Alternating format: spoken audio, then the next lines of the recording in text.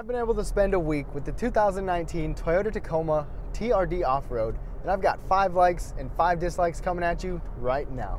So before I start this thing off, I want you to know that I do have a full review of this truck. Please be sure to check that out. I'll put a link down below. But without further ado, starting with my likes, my like number one is the JBL audio system that we have with the package on here. So it's just a six speaker system, but it sounds really good for that. And especially in a small truck like this, you really don't expect a whole lot coming out of a stereo system, but it's got really good bass too, and I'm really happy with it.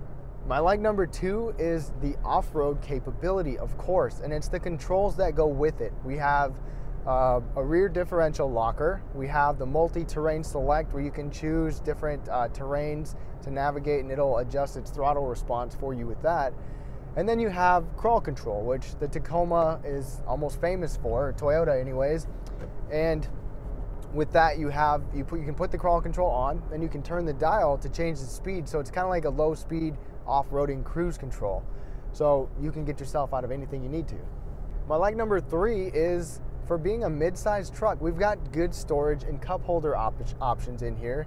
Uh, that's my thing. Is the center console. We've got technically three cup holders, even a, a, designated phone holder, or even a little storage bin, a Qi wireless charging mat. So good storage space for this size of a truck. My like number four is that we have Toyota Safety Sense standard. And if you don't want any of that stuff, you can turn that th those things off. So, uh, but you don't you don't you can have it on if you want. You've got automatic high beams, radar cruise control, lane departure alert, the pre-collision system. So it's just nice that it comes standard so you don't have to pay extra for it. My like number five is kind of gonna go into my dislikes, but my like is that we have wide angle fog lights and you get LED wide angle fog lights on the TRD Pro. And they make a huge difference because these halogen bulbs, regular headlight bulbs, just stink. And it's a narrow field of vision, so the wide angle head fog lights make a big difference. Now, starting with my dislikes, my dislike number one coming from my likes is that we don't have any LED headlights, which is kind of a bummer, especially for a vehicle known for going off road.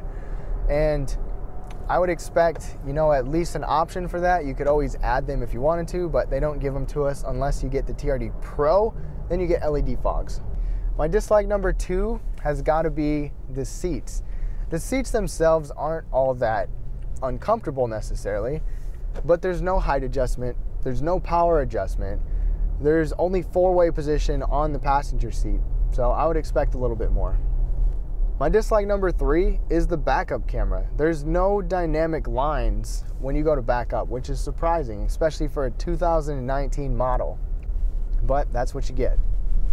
My dislike number four isn't necessarily the transmission itself, because most of the time it's done good, but sometimes it has been hesitant to actually upshift, not downshift. It'll actually hold its RPMs longer than I want to, even coasting on the interstate or highway. It's holding the RPMs and it's just unnecessary gas use and uh, higher RPMs.